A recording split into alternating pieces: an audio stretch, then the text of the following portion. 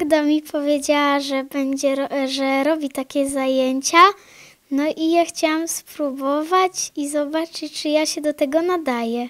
Mieliśmy książki dwie i z tych dwóch książek wzięliśmy pomysły. No i my wymyślaliśmy, co tam w ogóle będziemy robić. Wybierają temat, zastanawiamy się grupowo, pada ileś tam haseł i spróbujemy do nich e, podchodzić. E, Cały scenariusz jest zbudowany przez dzieciaki.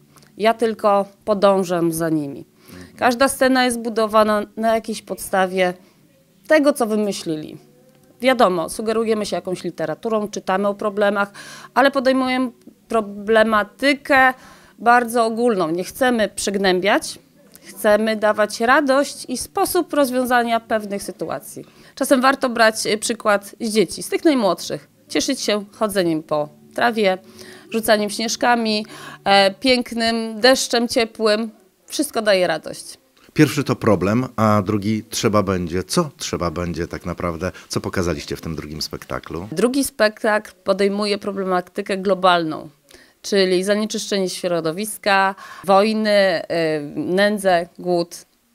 Dotykają dzieciaki takich problemów, które, są, które obserwują, widzą codziennie, słyszą przez wiadomości i się skupiliśmy na globalnych. Pierwsze przedstawienie było właśnie tylko stricte dla nich. 10 już edycji, to jest też chyba dla Was niezwykle cenne, że udaje się przez tyle lat e, pokazywać problemy świata, także i dzieci. Tak, to jest też o tyle, o tyle ciekawe, że to jakby dzieci y, te, o tych problemach mówią w szkołach, placówkach i rozmawiają o tym z wychowawcami, y, z, y, z prowadzącymi w szkołach zajęcia i te osoby właśnie y, starają się stworzyć z dziećmi przedstawienia teatralne, bazując na, na tych problemach, które są, żeby ten problem, który ich dotyka, taki problem społeczny, środowiskowy, żeby przekazać też, po, po, powiedzieć, opowiedzieć o nim na scenie. To jest taka forma profilaktyki rówieśniczej. To jest niesamowite i absolutnie urocze, e, jak tacy młodzi adepci próbują wejść w świat sztuki, zwłaszcza w takim dość ciężkim temacie, jakim jest e, teatr profilaktyczny.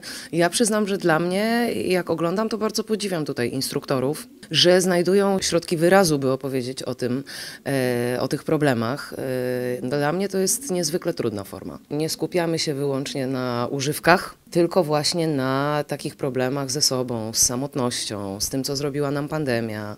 Więc tak, myślę, że ta edycja jest wyjątkowa. Tematyka jest bardzo szeroka, bo jakby idziemy tutaj jakby, jakby, profilaktyka jest bardzo szeroka, tak? Czyli uzależnienia, czyli jakieś, jakieś problemy z samotnością, e, takie problemy komunikacyjne, e, również e, też z rodzicami, też między dziećmi nie potrafią też prawidłowo się komunikować. Jest internet, więc to jest jakby, jakby problem też, też duży. Społecznie jest wiele tych problemów, więc od wielu lat e, one się pojawiają cały czas nowe. Też forma nietolerancji na przykład, to, to są jakby, jakby dużo jest problemów, które, e, które dzieci poruszają w swoich, e, swoich spektaklach. 10 lat to już dużo tych spektakli tutaj było i no naprawdę e, niektóre są bardzo poruszające nawet do łez, bo, bo to mniejsze dzieci i starsze, bo to dzieci z szkoły podstawowej, z liceów również, więc są bardzo różnorodne, różnorodna tematyka i też forma bardzo różnorodna artystycznie. Na początku ćwiczymy na przykład, na przykład e, szeroko, e, szerokie otwieranie buzi, miny czy coś takiego, a potem jak już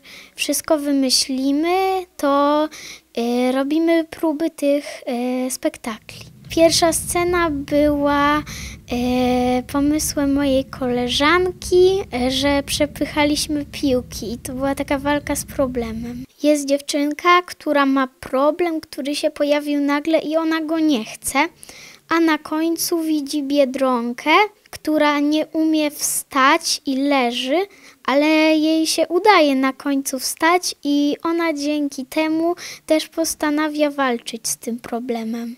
Co dzieci właśnie mówią o tej naszej rzeczywistości dorosłych XXI wieku? Że jest smutna i bardzo zabiegana, że, dzieci, że rodzice mają coraz mniej czasu, żeby się spędzać z nimi chwilę, żeby się wspólnie bawić. Słyszą, widzą, co się dzieje na świecie, przeżywają to.